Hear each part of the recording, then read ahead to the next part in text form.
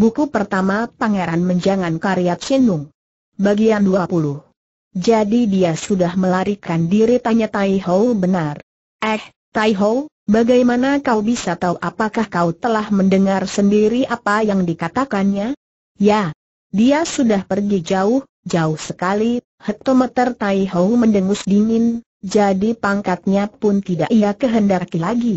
Ke mana tujuannya dia? Dia pergi ke baru berkata sampai di sini, tiba-tiba sebuah ingatan melintas lagi di benak Xiao Po.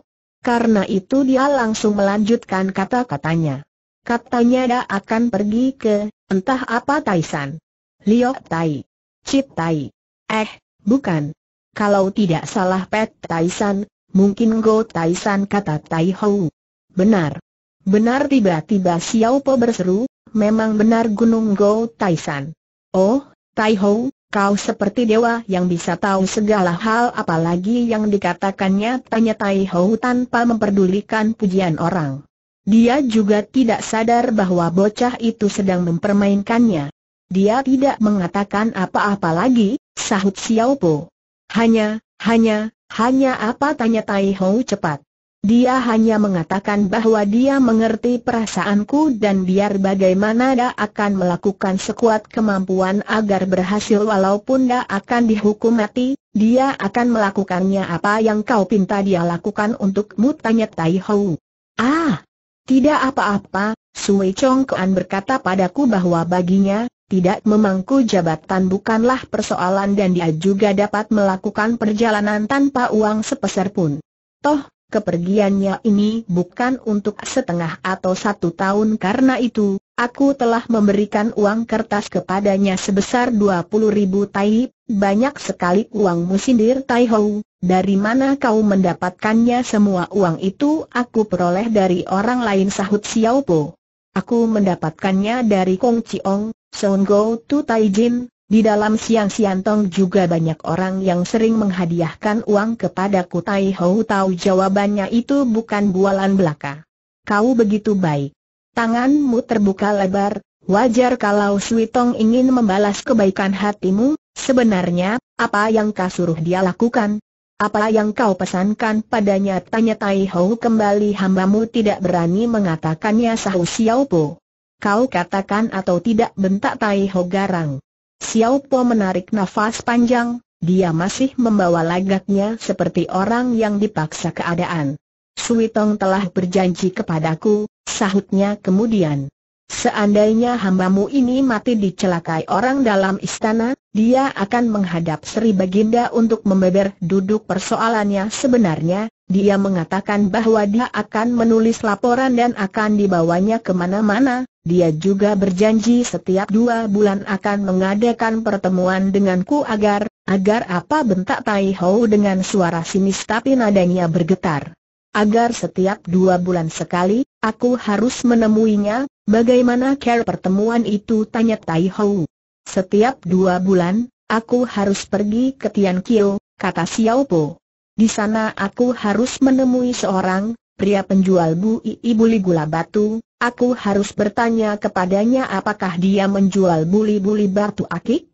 Mendengar pertanyaanku orang itu akan mengatakan bahwa harga serincengnya 100 tel, aku harus bertanya mengapa harga itu demikian tinggi, orang itu bukannya menjawab tapi bertanya kepadaku, apakah aku sudah pernah pulang ke langit? Aku harus mengatakan padanya agar dia pulang ke rumah orang tuanya. Dengan demikian akan menyampaikan kabarku kepada Sui Chong Kuan, dalam waktu yang singkat, Xiao Po tidak menemukan jawaban atas pertanyaan Tai Hou tadi, karena itu dia mengubah sedikit ajaran yang dianjurkan oleh Tan Kin Lam untuk bertemu dengan Citian Choan. Hati Tai Hou tercekat dia tahu care itu sering digunakan orang-orang Kangou untuk berhubungan dengan rekannya, dia jadi percaya Tai Kam cilik ini bukan hanya mengada-ada. Semakin dipikirkan hatinya semakin ciut. Dia tidak menyangka bocah cilik ini bisa membuat Suitong melarikan diri, tidak heran kalau Suitong menjadi ketakutan dan melarikan diri, juga tidak aneh kalau tujuannya Go Taisan, yakni tempat di mana bekas kaisar kerajaan Cheng menyucikan diri. Dalam waktu yang singkat, banyak sekali yang terlintas dalam benak Tai Ho, otaknya semakin ruwet, setelah lewat sejenak lagi, baru dia berkat lagi. Bagaimana kalau dalam waktu dua bulan seperti yang dijanjikan lalu kau tidak datang mencari penjual buli-buli gula batu itu tanya Tai Ho kemudian. Sui Chong Kuan mengatakan kepadaku bahwa dia akan menunggu sampai sepuluh hari lamanya. Andai kata aku tetap tidak kelihatan, dia akan mempunyai dugaan bahwa aku sedang terancam bahaya atau kemungkinan sudah mati, maka itu dia akan memikirkan jalan bagaimana caranya agar dapat menghadap Sri Baginda untuk menyampaikan laporannya, sampai waktu itu, hambamu memang sudah mati, tidak ada urusan apa-apa lagi, namun aku tetap setia kepada junjunganku, aku sudah menyadarkan Sri Baginda agar penasaran dibalas dengan penasaran, permusuhan dibalas dengan permusuhan, Sri Baginda tidak boleh sekali-kali diperdaya oleh orang jahat. Dengan demikian hamba beserta Sui Chong Kuan sudah membuktikan kesetiaannya terdengar suara perlahan dari mulut Tai Ho yang seperti orang gerutuan. Penasaran dibalas dengan penasaran, permusuhan dibalas dengan permusuhan. Ya, itu memang bagus sekali. Xiao Po tidak menghiraukan wanita itu. Terdengar dia seakan menggumam seorang diri. Selama beberapa hari belakangan ini, hamba akan tetap melayani Sri Baginda sebagaimana biasanya. Hamba tidak akan membocorkan rahasia apa pun. Asal hamba tetap hidup dan bisa merawat Sri Baginda, urusan ini tidak nanti hamba bongkar sampai kapan pun juga mendengar kata-katanya, Tai Ho agak lega sedikit.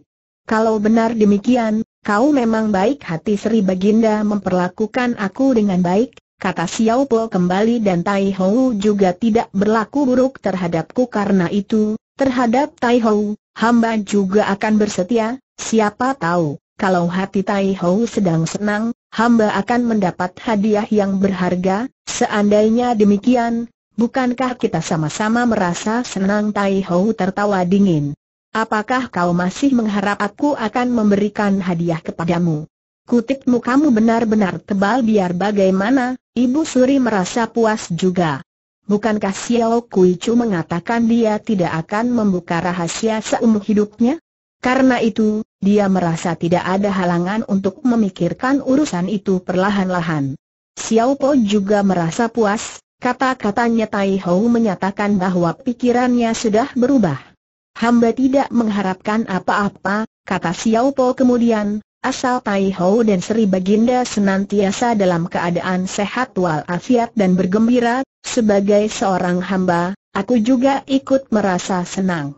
Harap Tai Ho tidak perlu khawatir besok hamba akan pergi ke Tian Kiau untuk mencari penghubung itu dan meminta dia menyampaikan kepada Sui Chong Kuan supaya dia menutup mulut rapat-rapat, Aku juga akan menitipkan uang sebanyak 3000 tel, dengan mengatakan bahwa itulah persen dari Tai Ho untuknya, hektometer Tai Ho mendengus dingin, orang semacamnya yang bekerja tidak sungguh-sungguh, karena rasa takut, dia melarikan diri, sudah bagus batang lehernya tidak kukutungkan, mana mungkin aku memberinya persen?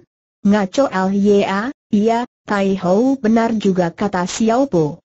Lagi pula uang itu toh milikku, memang Tai Hou tidak sepatutnya memberi persen kepada orang itu, baru sekarang Tai Hou melepaskan cekalannya pada bahu Xiao Po ia melepaskannya dengan perlahan-lahan. Xiao Kui Chu, katanya kemudian, apakah kau benar-benar setia padaku? Xiao Po segera menjatuhkan dirinya berlutut di depan wanita itu, dia tidak takut akan dihajar oleh Tai Hou Yagi. Dia juga menyembah berkali-kali. Iya.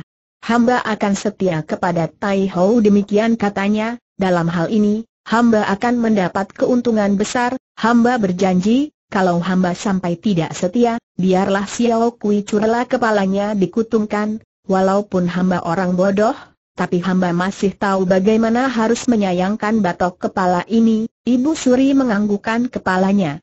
Bagus, bagus sekali katanya, tapi tangannya tidak henti menepuk bahu bocah itu jumlah keseluruhannya tiga kali, Xiao Po merasa tercekat hatinya. Tiba-tiba dia merasa kepalanya pusing dan perutnya mual pandangan matanya berkunang-kunang, kerongkongannya mengeluarkan suara yang aneh, sebab dia ingin muntah tapi tidak dapat. Terdengar Tai Hou berkata kembali. Xiao Kui Chu, kau ingatkan belum lama ini ketika Hetaiku si bangsat tua mengatakan ada sejenis ilmu yang namanya Hoakut Bian Chiang ilmu itu bila dipelajari sampai mencapai taraf kesempurnaan maka siapa yang terserang akan remuk seluruh tulang belulangnya, ilmu itu sulit sekali dipelajari aku juga tidak bisa memahaminya walaupun demikian, otakmu sangat cerdas, hatimu baik, lagi pula penurut aku hanya menepuk bahumu tiga kali dengan maksud bergurau. Hal ini menyenangkan sekali, Xiao Po tidak sanggup mengatakan apa-apa. Dia merasa dada dan isi perutnya bergolak dan darahnya seakan mengalir dua kali lebih cepat daripada biasanya, tanpa dapat mempertahankan diri lagi, dia memuntahkan darah yang bercampur dengan air.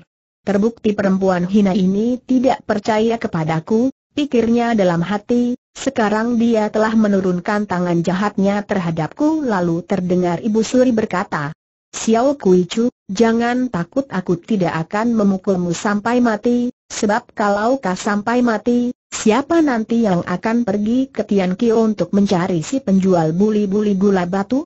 Besok pagi-pagi, pertama-tama kau harus ke keraton Chuleng Kiong, di sana aku akan memberikan tiga butir pil kepadamu, setiap hari kau harus menelan satu butir. Setelah tiga puluh hari kemudian, jiwamu tidak akan terancam bahaya lagi, kalau kau telah menghabiskan tiga puluh butir, nanti aku akan mengantarkan tiga puluh butir lagi untukmu terima kasih untuk kebaikan Tai Hou, kata Xiao Po. Kemudian perlahan-lahan dia menggerakkan tubuhnya untuk berdiri. Namun kepalanya pusing sekali sehingga dia terhuyung-huyung lalu roboh kembali, lalu dia muntah darah beberapa kali, tapi dia masih bisa berkata, Tai Ho, setiap hari hamba akan memuja P.O. Usat yang Maha Suci agar Tai Ho dilindungi dan panjang umur, sebab, seandainya Tai Ho batuk-batuk atau masuk angin saja, tentu hamba tidak akan mendapatkan obat, dan bukankah hamba akan menjadi setan berumur pendek? Ya, hamba akan menjadi si kura-kura yang pendek usianya, Tai Hou tertawa terbahak-bahak. Bagus kalau kau menyadari hal itu katanya keras, setelah itu tubuhnya berkelebat dan menghilang di balik gerombolan bunga-bunga yang lebat. Dengan susah payah Xiao Po bangkit untuk berdiri tegak, saat itu dia sudah berhasil menenangkan hatinya, Perlahan dia mengambil jalan memutar untuk sampai di jendela belakang kamarnya, tapi dia tidak sanggup melompati bahkan untuk sesaat dia harus mendekam di bawah jendela untuk mengatur pernafasannya. Setelah beristirahat sejenak, baru dia merayap naik untuk masuk lewat jendela.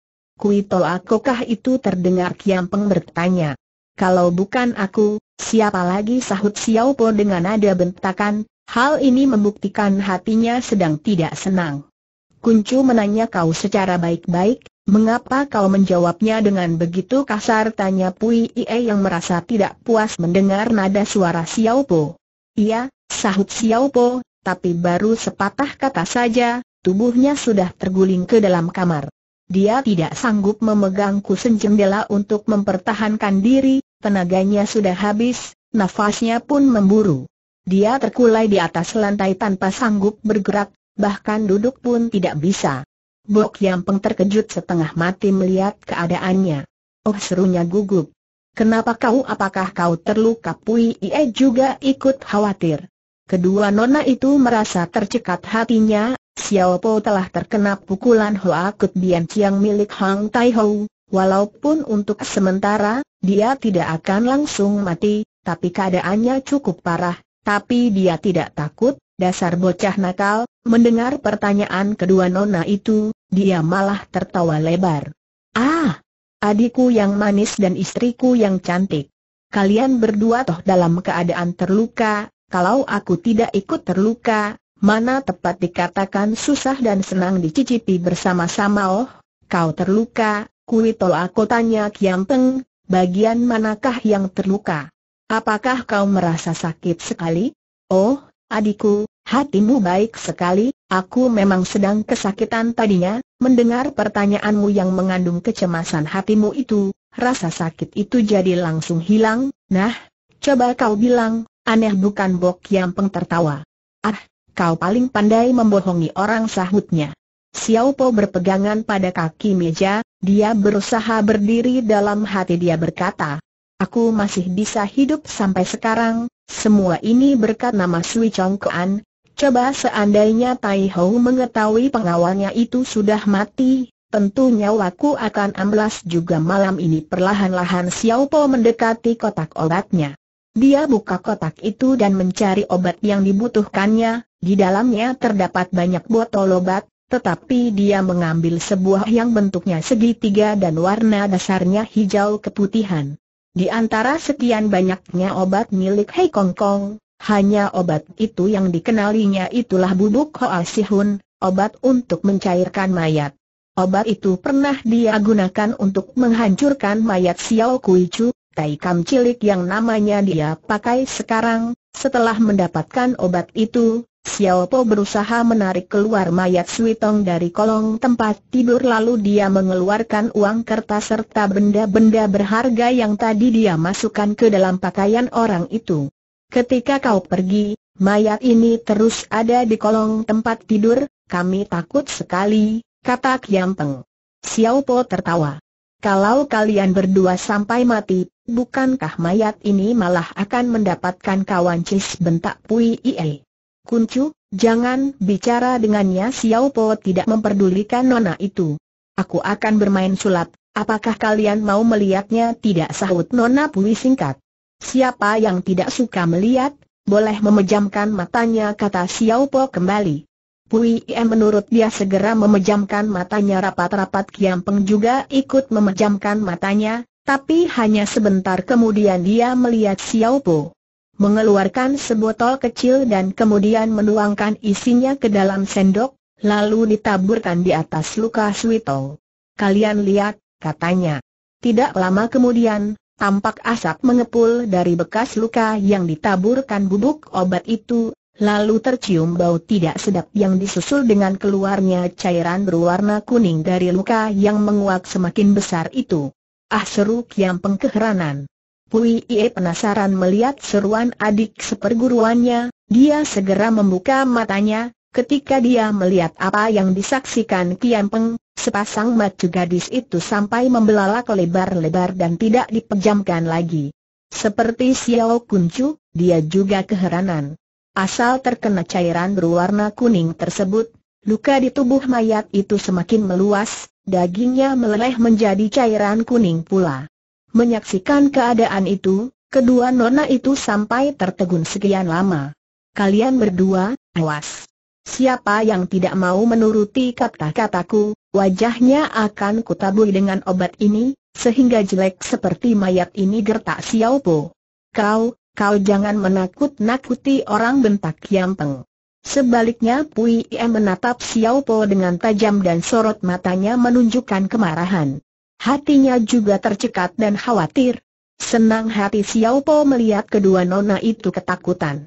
Dengan hati-hati dia menyimpan obatnya kembali kemudian dia mengambil sebuah kursi dan mendorong mayat Suitong yang terbagi menjadi dua bagian karena gerakan cairan yang tidak merata, Akhirnya seluruh mayat itu lumer menjadi cairan kuning dan menyebarkan bau yang tidak enak. Melihat keadaan itu, lega rasanya hati Xiao Po.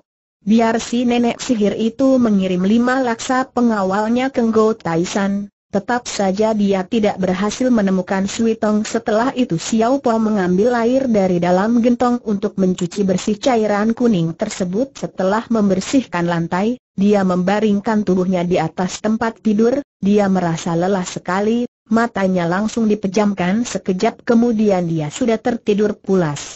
Sampai fajar tiba, baru Xiao Po mendusin dari tidurnya, dia langsung merasakan nyeri di dadanya bahkan dia juga merasa perutnya mual dan ingin muntah, tapi sampai sekian lama dia mencoba, tetap saja tidak ada sebutir nasi pun yang dimuntahkannya. Kiam Peng dan Pui Ie merasa heran melihatnya. Kui To Ako, apa yang kau rasakan tanya Ni prihatin Xiao Po bangun dan duduk di atas tempat tidur. Dia melihat kedua nona itu dan tidur di antar keduanya, kedua nona itu tidak membuka pakaian luarnya, Ketika dia melihat waktu sudah tidak pagi cepat-cepat dia bangun dan turun dari tempat tidur. Kalian berbaring saja, jangan bergerak katanya kepada kedua nona itu, aku ingin menemui Sri Baginda secepatnya tadinya Xiao Po berniat keluar dari kamarnya lewat jendela, tapi tenaganya masih satu emah. Akhirnya terpaksa dia keluar dari pintu depan kemudian menguncinya dari luar. Belum berapa lama Xiao Po berada di kamar tulis Kaisar Kong Hai, junjungannya itu sudah mengundurkan diri dari ruang sidang seperti biasanya. Begitu melihat Xiao Po, Kaisar Kong Hai tertawa lebar dan berkata pada Tai Kam cilik kesayangannya itu. Xiao Kui Chu, lagi-lagi kau membunuh orang tadi malam, Xiao Po cepat-cepat memberi hormat dan mengucapkan selamat pagi pada junjungannya itu. Kau sungguh beruntung kata Kaisar Kong Hai kembali-kembali kau dapat menempur para penyerbu itu. Aku sendiri, melihat wajah penyerbu itu saja tidak. Bagaimana kepandaian para pemberontak itu? Dengan jurus apa kau merobohkannya Xiao Po berpikir dengan cepat Kaisar Kong Hai pandai ilmu silat tidak mungkin dia memberikan keterangan secara sembarangan sebenarnya, dia tidak bertempur melawan seorang pun di antara penyerbu tadi malam. Tapi dia teringat pertempuran yang berlangsung di rumah keluarga Pak ketika Hang Chitong melawan Pek Hon Tiong. Pertempuran itu terjadi di saat gelap, sahutnya, Tiba-tiba hambamu melihat kaki kiri orang itu menyapu ke kanan dan tangan kanannya menyambar ke kiri, kemudian, dia pun menjelaskan tipu silat lawannya, bagus seru Kaisar Kong Hasraya bertepuk tangan. Tepat sekali tipu yang kau gunakan itu Tai Kam gadungan itu tertegun. Oh, Sri Baginda, apakah kau tahu jurus silat yang digunakan para pemberontak itu LYA? Sahut Kaisar Kong Hai. Bibirnya menyunggingkan senyuman, tahukah kau apa nama jurus itu? Xiao Po tahu jurus silat yang diperlihatkannya bernama Heng Sao Chiang Kun, tapi dia pura-pura tidak tahu. Hamba tidak tahu, Raja tertawa. Kalau kau tidak tahu, biar aku beritahukan, katanya, jurus itu bernama Heng Sao Chiang Kun bagus sekali nama itu puji Xiao Po pura-pura terkesima. Dia menggunakan jurus itu, lalu bagaimana kau menghadapinya untuk sesaat hamba sempat kebingungan sahut Xiao Po. Lalu tiba-tiba saja hamba ingat tipu silat yang pernah digunakan Sri Baginda ketika dulu kita berlatih bersama. Ketika itu hamba kena dibuat terpental sehingga melewati kepala Sri Baginda. Kalau tidak salah itu adalah, itu adalah tipu ilmu Hawi Injiu dari Butong Paimu, Senang sekali hati Kaisar Kong Hai mendengar jawaban Xiao Po. Jadi kau menggunakan tipu silatku untuk memunahkan jurus Heng Sao Chiang Kun itu benar, Sri Baginda, sahut Xiao Po. Sebenarnya kepandaian hamba belum berarti apa-apa, tetapi untungnya Sri Baginda sering mengajak hamba berlatih bersama sehingga ada sebagian besar ilmu silat Sri Baginda yang masih hamba ingat dan hamba manfaatkan begitu menghadapi musuh, Kaisar Kong Hai tambah senang hatinya, bagus. Bagus sekali kau masih mengingatnya Xiao Po juga gembira melihat Kaisar Kong Hai berseri-seri wajahnya. Untung saja ocahanku tepat pikirnya, tidak sia-sia dia mengangkat rajanya itu tinggi-tinggi. Kemudian dia menambahkan kembali hanya ada satu hal yang patut disayangkan, yakni tenaga dalam hamba masih cetek sekali, akhirnya penjahat itu berhasil juga meloloskan diri, ya, sayang. Sayang kata Raja. Sebenarnya kau harus langsung menotok jalan darah Hwe Chong dan Gwe Kuan penjahat itu, kalau kau melakukan hal itu, tentu penyerbu tersebut tidak dapat meloloskan diri lagi sembari berkata, Kaisar Kong Hat segera mencekal lengan Xiao Po dan menunjukkan cara bagaimana menekan lawannya. Xiao Po berusaha meronta, tapi dia tidak berhasil membebaskan dirinya. Ah serunya penuh penyesalan coba kalau dari siang-siang Sri Baginda mengajarkan tipu ini, tentu hamba tidak perlu melalui saat-saat yang membahayakan jiwa. Kaisar Kong Hai tertawa. Lalu, bagaimana kelanjutannya begitu berhasil membebaskan diri, Orang itu lari ke belakang hamba dan berhasil menghajar punggung hambamu dengan kedua telapak tangannya. Itulah jurus kaosan Liu Sui. Seru Sri Baginda memberikan keterangan mengenai jurus yang digunakan pihak lawan. Oh, itukah jurus kaosan Liu Sui? Tanya Xiao Po pura-pura terkejut. Sayang aku tidak tahu. Benar-benar manusia tidak berguna maki Kaisar Kong Hai, tapi sembari tertawa, mengapa waktu bertempur kau tidak menggunakan ilmu yang diajarkan gurumu? Mengapakah selalu meniru gerakan ilmu silatku entahlah, Sri Baginda sahut Xiao Po. Setiap jurus silat yang guru hamba ajarkan, dapat hamba gerakan dengan baik di saat berlatih, namun apabila menghadapi pertempuran seperti tadi malam, Tiba-tiba semuanya jadi menguap dan tidak ada satupun yang teringat dalam benak hambamu ini. Sebaliknya semua gerak tipu silat Sri Baginda justru terbayang jelas di pelupuk mata sehingga tanpa berpikir panjang lagi hamba menirukannya, begitu pula ketika punggung hamba terhajar tiba-tiba saja hamba mengelit ke samping kanan, itulah jurus Keng Hang Teo, kata Sri Baginda yang menjelaskan tipu silat miliknya yang berarti gerakan angin puyuh Benar sahut Xiao Po. Setelah berkelit, hamba segera mencabut pisau belati dan membalas menyerang musuh sambil hamba berteriak dengan keras Hai, Xiao Kui Chu, menyerah tidak raja tertawa terbahak-bahak, Aih, kau ini benar-benar aneh katanya, mengapa kau justru memanggil namamu sendiri saat itu hamba tidak sempat berpikir dan menyebut nama hamba secara tanpa sadar hamba ingat, Ketika baru-baru ini Sri Baginda mengadakan latihan dengan hamba. Bukankah Sri Baginda selalu menyerukan kata-kata itu bagus? Bagus kata Kaisar Kong Hai memuji, ternyata kau masih ingat semuanya Kaisar Kong Hai merasa puas sekali. Kalau demikian, para pemberontak itu mempunyai nyali yang besar tapi kepandaiannya tidak seberapa lihai tambahnya kemudian. Sebetulnya, Sri Baginda, kata Xiao Po, ada juga beberapa di antara para pemberontak itu yang ilmu kepandaiannya cukup tinggi, buktinya ada beberapa siwi yang tewas dan terluka, dasar hamba berpanjang umur, hamba telah mendapat pelajaran dari Sri Baginda sehingga hamba sanggup menjaga diri. Kalau tidak, Terpaksa Sri Baginda hari ini mengeluarkan firman agar semua orang membaca doa untuk menghibur arwahnya Xiao Kui Chu yang sudah berpulang ke alam baka serta menghadiahkan uang sebanyak seribu tel, Raja tertawa. Seribu tel tidak sebanding dengan jasamu seharusnya selaksa Xiao Po juga tertawa, senang dia dapat bergurau dengan junjungannya itu. Eh, Xiao Kui Chu, Apakah kau dapat menduga asal-usul para pemberontak itu? Tanya Kaisar Kong Hai kembali memalukan sekali. Hamba tidak tahu sahut Xiao Po. Sri Baginda, kalau ditelik dari tipu silat yang mereka gunakan, dapatkah Sri Baginda menerka asal-usul mereka mulamu? Iya aku masih bimbang, tetapi keteranganmu telah memperkuat dugaanku sahut Seng Raja. Kemudian dia bertepuk tangan dan menurunkan perintah kepada salah seorang pelayannya, Pergi kau panggil Son Go Tu dan Tulang untuk datang kemari kedua pelayan itu menunggu Sri Baginda di luar kamar tulisnya, mendengar perintah junjungannya itu, mereka segera berlalu untuk melaksanakan tugas tersebut. Tulang adalah orang Boan Chiu asli. Pangkatnya Teo Utong atau gubernur militer, dan termasuk golongan bendera bersulam biru, Ketika angkatan perang Boan menyerbu ke selatan, dia telah membangun jasa yang tidak kecil kepandaiannya juga cukup tinggi, namun karena terdesak oleh Go Pei, dia tidak mendapat kedudukan yang setimpal di kota raja. Setelah Go Pei jatuh, oleh raja dia dinaikkan pangkatnya menjadi Gician Siwi Teo Ucong Koan atau kepala barisan pengawal raja. Namun apa mau dikata, belum lama dia menjabat kedudukan itu, telah terjadi penyerbuan oleh para penjahat. Dengan demikian dia jadi tidak enak hati, sepanjang malam dia tidak dapat tidur, dia khawatir Ibu Suri atau Sri Baginda akan menegurnya dan atau menghukumnya.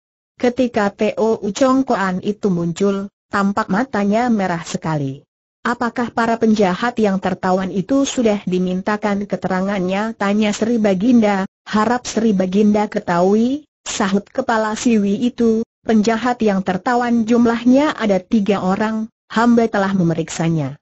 Dan hamba melakukannya dengan care, terpisah-pisah untuk mencocokkan ucapan mereka nantinya, pertama-tama mereka tidak mau mengaku, belakangan karena tidak tahan menghadapi siksaan, barulah mereka mengaku, benar saja. Mereka adalah orang-orangnya. Peng Siong.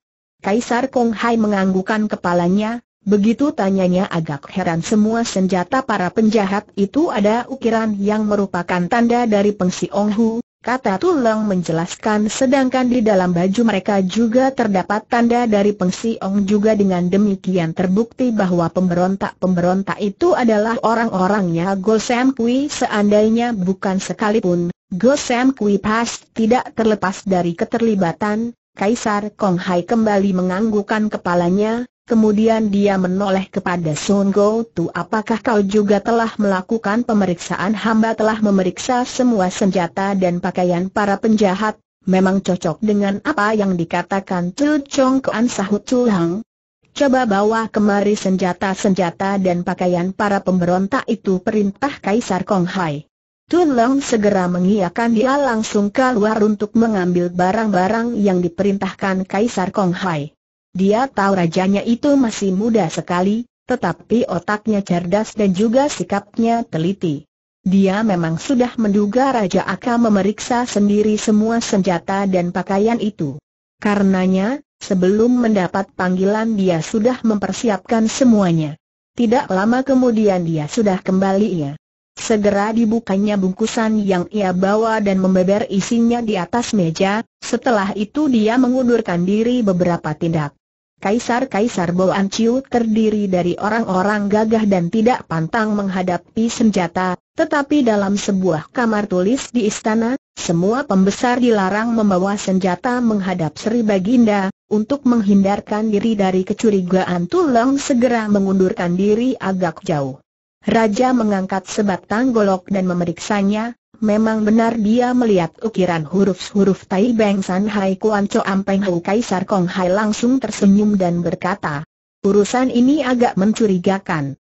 Kalau ada rencana terselubung, seharusnya semua bukti-bukti ini dihilangkan terlebih dahulu, tapi ini malah sebaliknya Kaisar Kong Hai menoleh kepada Son Go Tu. Kalau Go Sam Kui mengutus orang ke istana untuk melakukan pembunuhan, Seharusnya dia sudah merencanakannya matang-matang, senjata apa yang tidak boleh digunakannya? Mengapa dia justru memakai senjata yang ada tanda jati dirinya? Mereka toh datang ribuan li dari Provinsi Inlam, masa di tengah jalan tidak pernah terpikir bahwa ada kemungkinan senjata mereka bisa tertinggal di dalam istana di saat melakukan penyerbuan ya, ya. Sri Baginda benar sekali puji Son Go Tu. Sri Baginda cerdik dan dapat memandang urusan sampai jauh, hamba benar-benar takluk raja menoleh kepada taikamnya yang masih muda. Xiao Kui Chu, panggilnya, ilmu silat apakah yang digunakan penjahat yang berhasil kau bunuh itu ilmu Heng Sao Chiang Kun dan kau San Li Sui sahut si bocah cilik yang ditanyai. Nah, ilmu dari manakah itu tanya Kaisar Kong Hai kepada Chu Hang? Walaupun kepala pengawal ini asli orang Boan tapi Tuleng kenal banyak macam ilmu silat, karena itu pula tidak heran kalau dia mengenal kedua macam ilmu silat yang disebut Xiao Po. Mirip dengan ilmu silat keluarga Bok di Inlam sahutnya, Raja menepuk tangan keras-keras. Tidak salah. Memang tidak salah puji Kaisar Kong Hai. Tulang, pandanganmu luas sekali puas rasanya hati Tulang mendengar pujian junjungannya, dia segera menjatuhkan diri berlutut untuk memberi hormat dan mengucapkan kata-kata merendah, serta mengucapkan terima kasih. Coba kalian pikir, kata Kaisar Kong Hai kembali. Kalau benar Go Sam Kui menitahkan orang-orangnya datang ke kota raja untuk menyerbu istana, tidak mungkin dia memilih saat yang sama mengutus putranya datang berkunjung ke kota Peking ini. Para penyerbunya toh bisa datang setiap waktu, Kenapa dia memilih waktu ketika putranya ada di sini inilah hal pertama yang menimbulkan kecurigaan. Go Sam Kui pandai mengatur tentara, orangnya teliti dalam mengambil setiap tindakan mengapa dia bisa mengirim orang-orang semacam ini untuk melakukan tugas yang dititahkannya? Bukankah jumlahnya terlalu kecil dan kepandaian mereka tidak seberapa tinggi? Tapi mengapa dia mengirimkannya juga? Hal inilah yang disebut kecurigaan kedua, ada lagi yang ketiga, taruh kata, benar dia mengirim orang untuk membunuh rajanya, apa manfaat bagi dirinya? Mungkinkah dia ingin memberontak dengan menimbulkan huru hara? Kalau dia benar ingin memberontak mengapa dia mengirim putranya ke kota raja?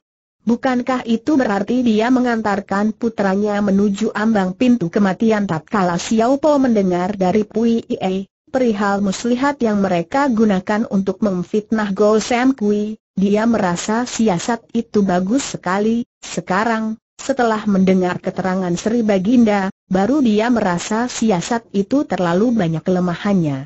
Diam-diam dia merasa kagum terhadap Raja Muda yang cerdik itu. Songgo Tu juga memuji Seng Raja yang dikatakan cerdas sekali. Nah, mari kita pikirkan lebih jauh kata Kaisar Kong Hai. Seandainya para penyerbu itu bukan orang-orang Go Sam Kui, tetapi mereka menggunakan senjata dan pakaian yang bertanda pengsi orujuhu itu, apakah maksudnya? Apakah hal ini mempunyai arti tersendiri? Terang ada orang yang ingin memfitnah Go Sam Kui, Peng Siong telah membantu kita merampas seluruh tanah Tionggoan. Sudah tentu tidak sedikit orang yang membencinya, nah, penjahat itulah yang harus kita cari. Siapa kira-kira orang itu? Atau dari pihak manakah? Hal inilah yang harus kita pikirkan dengan seksama Sri Baginda benar sahut Sun Go Tu dan Tulang serentak kalau seandainya Sri Baginda tidak berpandangan demikian jauh, Mungkin kami sekalian sudah kena dikelabui, bukankah itu berarti kami mencelakai orang baik-baik dan memfitnah tidak karuan kata tulang menambahkan. Memfitnah orang baik-baik. Hektometer kata raja, setelah itu Kaisar Kong Hai berdiam diri. Karena itu, Song Go Tu dan Tulang pun segera memohon diri. Raja membiarkan kedua orang itu pergi, dia justru memandangi Xiao Kui Chu lekat-lekat kemudian berkata, Xiao Kui Chu, coba kau terka, bagaimana aku bisa mengetahui kedua jurus Heng Sao Chiang Kun dan Kau San Liu Sui hambamu justru sejak tadi, dilanda keheranan, sahut Xiao Po. Apa sebabnya Sri Baginda bisa tahu tadi pagi-pagi sekali, aku telah memanggil beberapa orang siwi untuk menghadap. Lalu aku menanyakan soal penyerbuan tadi malam, terutama tentang ilmu silat yang mereka gunakan. Ternyata ada beberapa jurus ilmu silat yang merupakan ciri khas keluarga Bok. Kau tahu, keluarga ini turun-temurun menguasai wilayah Inlam. Hanya setelah masuknya kerajaan Cheng kita, provinsi itu langsung diserahkan kepada Gosem Kui. Tentu saja karena itu keluarga Bok menjadi gusar dan sakit hati. Selain itu, Bok Tian Po pangeran terakhir Bok Ong Hu justru tewas di tangan bawahan Go Sam Kui. Hal ini menambah kebencian di hati mereka. Aku juga menyuruh beberapa orang siwi itu menjalankan ilmu silat keluarga Bok. Ternyata di antaranya memang ada Heng Sao Chiang Kun dan Kaosan Liu Sui sungguh Sri Baginda pandai berpikir dan menerka puji Xiao Po. Di dalam hati dia justru merasa gundah dan khawatir sekali, dia berpikir, di dalam kamarku tersembunyi dua orang nona dari keluarga Bok. Entah Sri Baginda mengetahuinya atau tidak ketika Xiao Po masih bingung, Kaisar Kong Hai tersenyum dan berkata kepadanya, Eh, Xiao Kui Chu, apakah ada pikiranmu untuk mendapatkan rejeki besar tanyanya? Xiao Po menoleh kepada Raja dan menatap dengan pandangan tidak mengerti. Kalau Sri Baginda tidak memberikan, mana berani hamba memintanya, sahut bocah itu, dia kurang mengerti apa yang dimaksudkan oleh junjungannya, karena itu. Dia hanya dapat menduga-duga saja, sebaliknya, apabila Sri Baginda bersedia memberikannya, hamba pun tidak berani menerimanya Raja tertawa. Bagus katanya, Aku akan memberikan rezeki besar untukmu sekarang kau kumpulkan semua senjata dan pakaian dalam ini. Juga surat-surat pengakuan para penyerbu yang kena ditawan lalu bawa semuanya kepada seseorang, aku yakin kau akan memperoleh harta karun Xiaopo tertegun, tapi sejenak kemudian dia tersadar. Oh, dia pasti Go Eng Hem serunya. Kau memang cerdas sekali kata raja, nah, Kau bawalah semua barang-barang ini kepadanya sungguh besar rezeki Go Eng Hem kata Xiao Po. Ha, ha, ha sekarang jiwa dia beserta keluarganya, semua ada di tangan Sri Baginda, bahkan seluruhnya juga merupakan hadiah dari Sri Baginda bagaimana nanti kau berbicara dengannya tanya Sri Baginda. Akan hamba katakan begini kepadanya, eh, Orang Sigau, junjungan kita sangat cerdas dan berpandangan jauh, Sri Baginda dapat mengetahui apa saja yang kalian ayah dan anak lakukan di Inlam.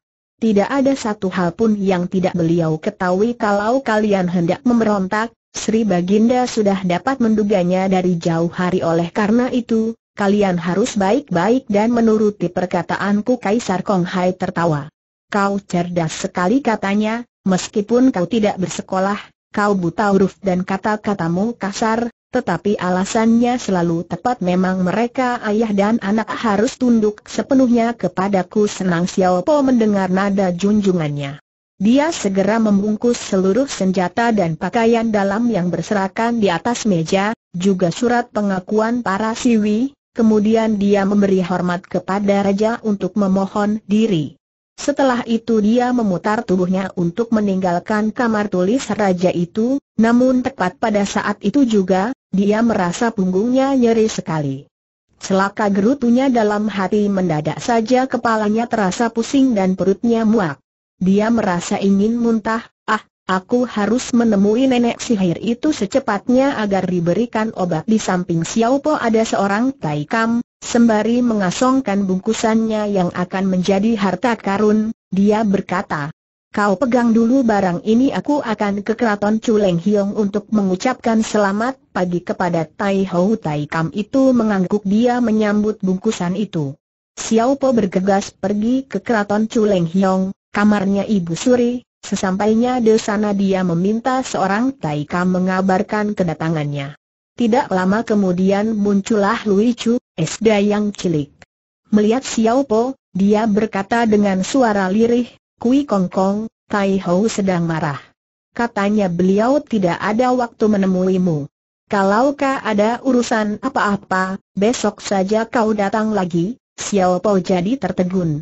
Besok baru datang lagi pikirnya dalam hati entah besok aku masih hidup atau tidak, Terang-terangan kemarin Tai Hou sendiri yang mengatakan agar aku datang hari ini untuk mengambil obat sekarang dia sengaja mempermainkan aku. Ak benar-benar tidak menyangka adik kecil, katanya kemudian kepada Lui Chu tolong kau kembali lagi kepada Tai Hou dan katakan bahwa kemungkinan besok aku tidak bisa hidup lagi, tapi, Xiao Kui Chu menganggap jiwanya kecil karena itu aku tidak perlu minum obat lagi Lui Chu bingung, untuk sesaat dia menatap Siapo dengan tatapan heran. Eh, apa yang kau katakan tanyanya, bagaimana aku bisa menyampaikan kata-katamu kepada Tai Hou, sedangkan ucapanmu itu begitu tidak sopan? Hektometer Xiaopo mengeluarkan suara yang tawar. Karena aku akan mati, Peduli apa kata-kataku ini sopan atau tidak. Selesai berkata, dia langsung membalikan tubuhnya dan pulang ke kamarnya sendiri. Dia langsung memalang pintu kamarnya itu setelah sebelumnya mengambil dulu bungkusan yang dititipkan tadi, dia duduk di atas kursi dengan nafas tersengal-sengal. Biar bagaimana, pikirannya bingung dan hatinya mendengkol. Apa kau kurang sehat tanya Kiampeng.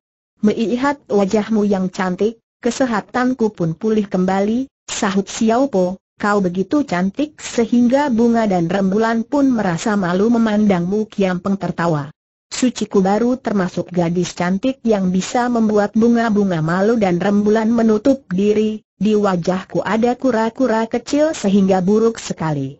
Mendengar gurauan si nona cilik, hati Xiao Po terasa lega juga, eh, Kenapa di wajahmu ada kura-kura tanyanya sambil tertawa. Oh, aku tahu sekarang, adikku yang baik, wajahmu begitu bersih dan mulus sehingga bila kau berkaca, kau akan melihat bayangan seekor kura-kura cilik. Kiam pengheran, dia menatap Xiao Po tajam. Apa katamu? Mengapa kau berkata demikian? Kau lihat, dengan siapa kau tidur kata Xiao Po. Wajahmu berpotongan telur mirip sebuah cermin dan di sana terbayang wajahnya seseorang yang tampak mirip seekor kura-kura kecil Cispuile yang sejak tadi diam saja jadi sengit karena merasa disindir oleh Xiaopo. Nih, kau lihat sendiri wajahku Xiaopo tertawa.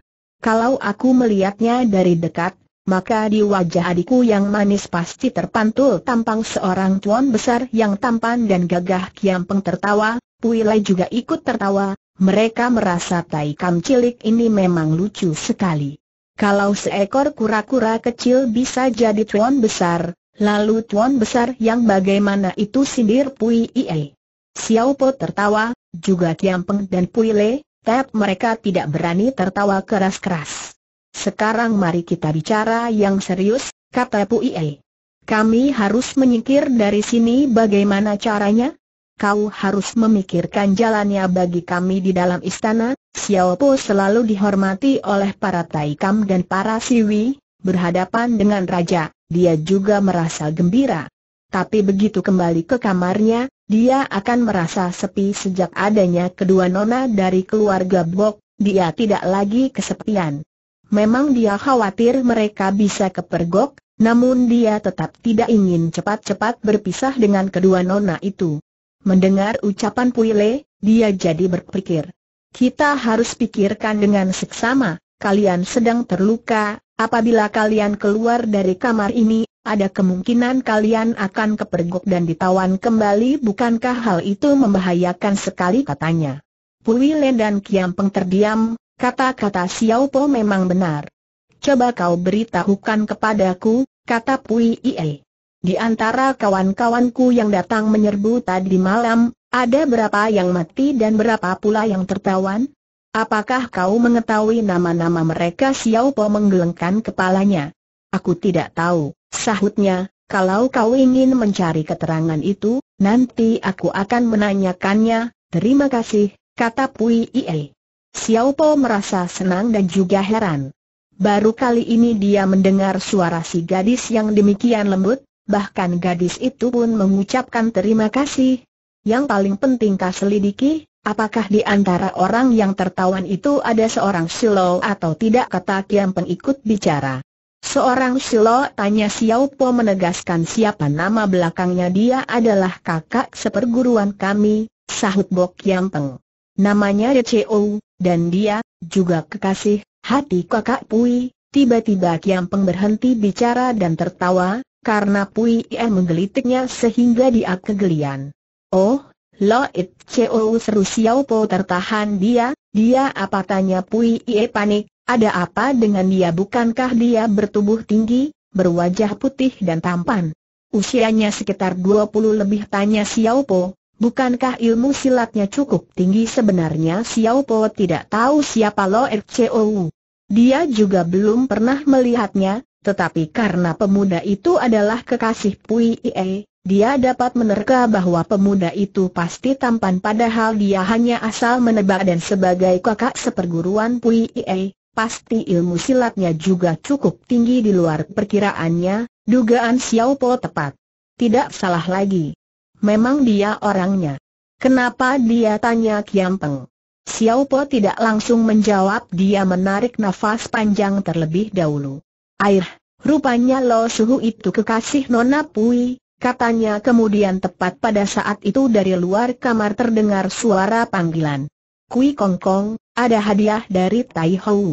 Mendengar itu, Xiao Po menjadi senang, dia berkata dalam hati, oh, dasar perempuan lacur. Dia toh tidak sudi menemui aku, untuk apa aku menemuinya sekarang? Lohu tidak takut mati, dia justru yang merasa khawatir walaupun berpikir demikian, dia tetap menjawab, terima kasih atas hadiah itu.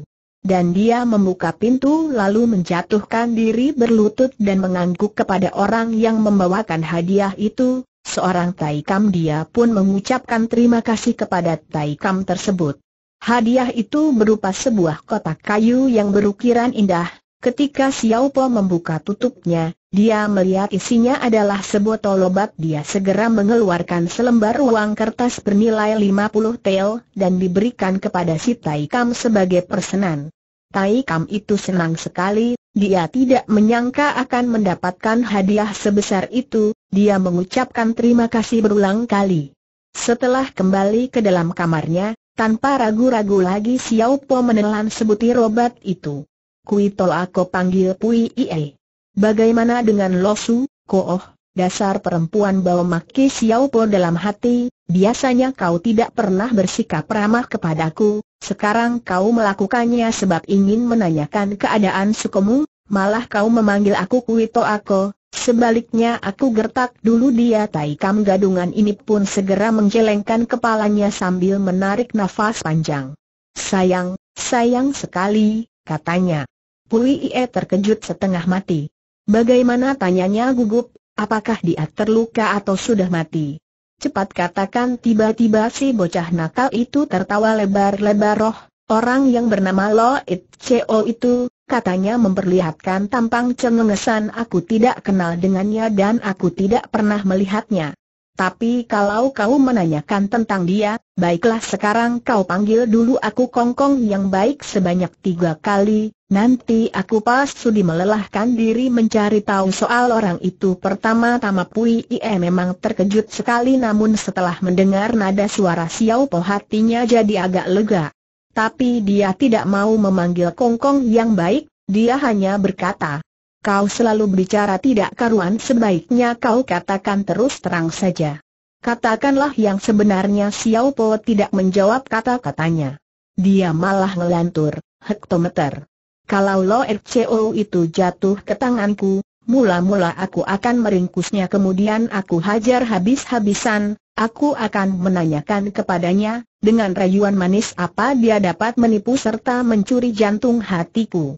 Setelah itu aku akan mengangkat golokku tinggi-tinggi dan aku bacokkan kepadanya, suaranya begini, Krep Kiampeng merasa tercekat hatinya. Apa tanyanya, apakah kau hendak membunuhnya bukan, bukan sahut Xiaopo. Aku hanya ingin membacok kantong telurnya, dengan demikian dia akan menjadi orang kebiri Nona Bok masih terlalu kecil, dia tidak mengerti apa yang dimaksudkan Xiaopo, tapi Pui E langsung merah padam wajahnya. Dia merasa jengah mendengar kata-kata seperti itu. Kau mengoceh sembarangan katanya. Lo sukumu itu kemungkinan sudah tertawan, kata Xiao Po sambil tertawa, aku, Kui Kongkong memang tukang bicara, tapi banyak orang yang suka mendengarkan perkataanku. Nah, Nona Pui, sekarang kau katakan, apakah kau ingin memohon bantuan dariku? Kembali wajah gadis itu merah padam, Tai Kam cilik ini benar-benar jahil, pikirnya, eh, kuito aku, kata Kiam Peng turut memberi suara, kalau kau memang sudi memberikan bantuan, tidak perlu menunggu orang memintanya. Bantuan yang tulus barulah tindakan seorang yang gagah Xiao Po mengibaskan tangannya. Tidak. Kata-katamu salah sahutnya. Aku justru paling senang mendengar permohonan orang, kalau orang memanggilku suamiku yang baik, apalagi dengan nada yang mesra, semakin suka aku membantunya Pui Iem menatap Xiao Po lekat-lekat dia benar-benar kewalahan menghadapi orang yang satu ini. Kui To Ako, akhirnya dia memanggil To Ako yang baik, aku memohon bantuanmu kembali timbul rasa iseng dalam hati Xiao Po. Dia menggoda lagi. Kau harus memanggil suami padaku katanya sambil tersenyum. Bicaramu keliru, Kui To Ako kata Kiampeng. Suciku ini akan menikah dengan Lo Suko, karena itu Lo Suko yang akan menjadi suaminya, mana boleh Suci memanggil suami kepadamu tidak bisa kata Xiao Po. Kalau dia menikah dengan Lo RCO, Lohu cemburu. Iya, aku merasa tidak puas, aku iri kau tidak tahu, kuito aku, kata Nona Bok kembali. Nadanya setengah membujuk Lao Suko itu orangnya baik sekali, tidak bentak si bocah cilik. Justru karena dia baik, aku semakin iri. Aku cemburu sekali berkata begitu, Xiao Po tetap tertawa, sembari meraih bungkusannya di atas meja, dia berjalan keluar, pintu kamarnya dikunci. Dengan mengajak empat orang Tai Kam sebagai pengiring, dia menunggang kuda menuju jalan Tiang-An Barat, istana yang dihadiahkan raja untuk Peng Siong, Ketika Go Eng Hem mengetahui kedatangan utusan raja, dia segera keluar dan menjatuhkan dirinya berlutut. Sri Baginda menitahkan aku membawa beberapa barang untuk diperlihatkan kepadamu kata Xiao Po langsung, Xiao Ongnya, nyalimu besar atau tidak nyali picit, hamba yang berpangkat rendah, kecil sekali picit tidak boleh terkejut sedikit pun, sahut Go Eng Hem. Xiao Po menunjukkan mimik heran. Nyalimu kecil sekali sehingga tidak boleh terkejut sedikit pun tanyanya, tapi, apa yang kau lakukan justru begitu besar dan mengejutkan Kongkong, Picit tidak mengerti apa yang Kongkong maksudkan, sahut Go Eng Him.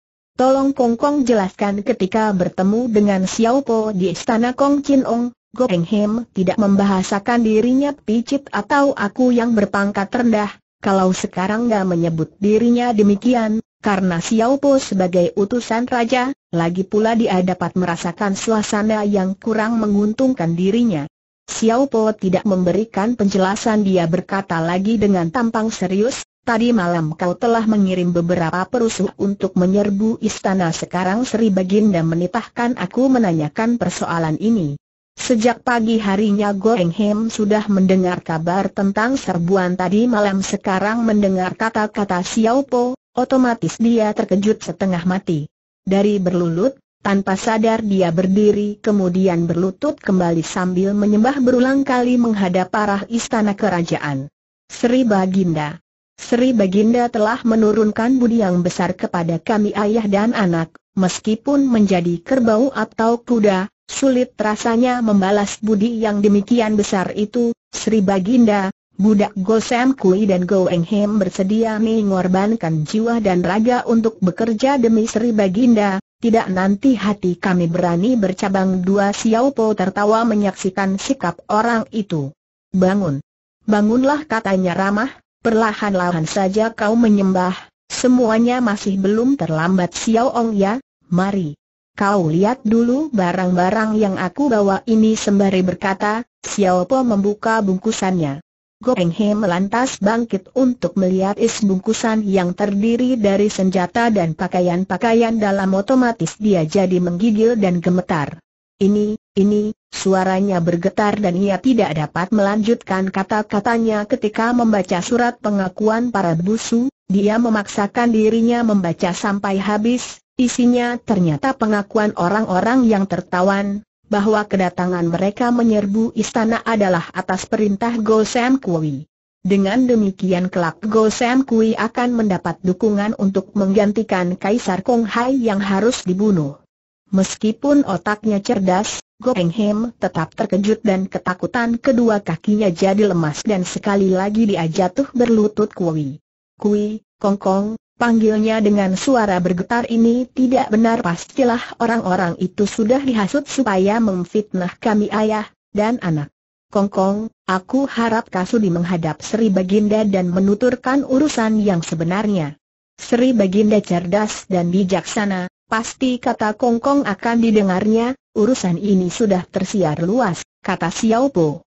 So Tai Jin dan Tu Tai Jin telah menghadap Sri Baginda dan melaporkan pengakuan para penyerbu itu, kau tahu sendiri, ini namanya pemberontakan durhaka terhadap junjungannya siapakah yang bernyali demikian besar membicarakan urusan kepada Sri Baginda? Kau minta aku menghadap Sri Baginda, sebetulnya bukan tidak bisa, tapi untuk itu aku harus memikirkan cara yang sempurna. Alasan apa yang bisa ku kemukakan untuk membelamu, sulit bukan?